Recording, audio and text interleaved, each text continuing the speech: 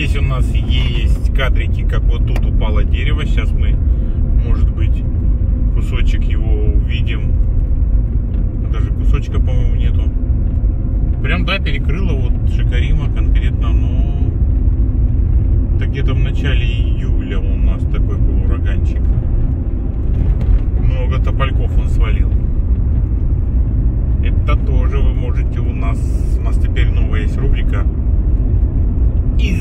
12 июля, из 20 июля в февраль, потому что у нас только февральские кадры остались.